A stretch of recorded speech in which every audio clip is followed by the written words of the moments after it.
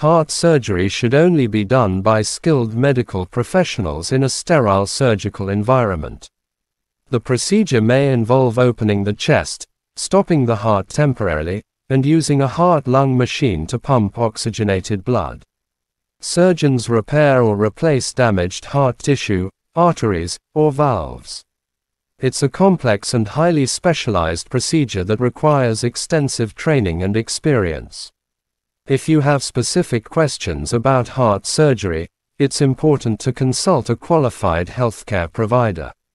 Coronary artery bypass surgery, often referred to as bypass surgery, or CABG, coronary artery bypass grafting, is a procedure used to treat coronary artery disease. During this surgery, a surgeon creates a bypass or detour around blocked or narrowed coronary arteries, which supply blood to the heart muscle. This is typically done using a blood vessel graft, such as a vein from the leg or an artery from the chest.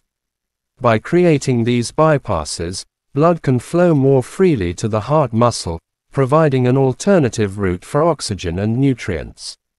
This procedure is used to relieve symptoms of angina, chest pain, and reduce the risk of a heart attack. Bypass surgery can improve blood flow to the heart, alleviate symptoms, and potentially extend a patient's life when other treatments, such as medications or lifestyle changes, are insufficient. It's a complex surgical procedure performed in a hospital by a team of skilled cardiac surgeons and healthcare professionals.